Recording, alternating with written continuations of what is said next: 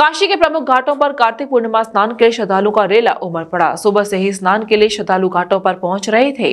इन प्रमुख घाटों पर स्नान के लिए पहुँचे श्रद्धालु कल रात से ही पहुँचने लगे थे। बारह बजे के बाद श्रद्धालु गंगा में पुण्य की डुबकी लगाकर दीपदान करते नज़र आए। कार्तिक पूर्णिमा पर सोमवार सुबह महादेव की नगरी काशी में लाखों की संख्या में श्रद्धालुओं ने पवित्र गंगा में स्नान की डुबकी लगाई। सोमवार को आधी रात के बाद से ही दशवमेध जाने वाली सड़कों पर स्नानार्थियों का रेला उमड़ने लगा। गंगा तटों पर आस्था का जन सैलाब उमड़ पड़ा। घाटों पर स्नान का उत्सव किसी कुंभ से कम नज़र नहीं आया। वह कहीं समूह वृद्ध महिलाओं के गंगा गीत गूंज रहे थे। तीर्थ नगरी में कार्तिक पूर्णिमा पर दो लाख से अधिक लोगों की डुबकी लगाने का अनुमान है।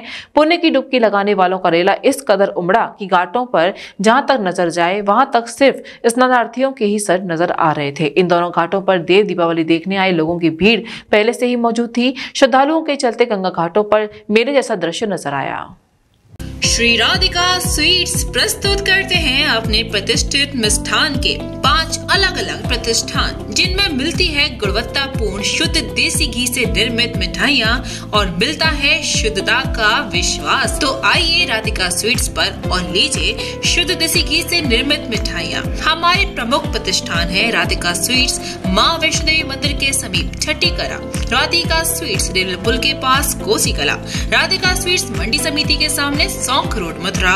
राधिका स्वीट्स धौली प्याऊ मथुरा और राधिका स्वीट्स श्री कृष्ण जन्म स्थान के पास पोथरा कुंड मथुरा।